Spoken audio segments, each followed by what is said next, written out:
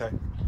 All right, so what we got here is we pop the hood and these sausages have reached an internal temperature of about 150 degrees internal. Mm -hmm. We see the shrinking and drying of the casings onto the internal mix of the sausage.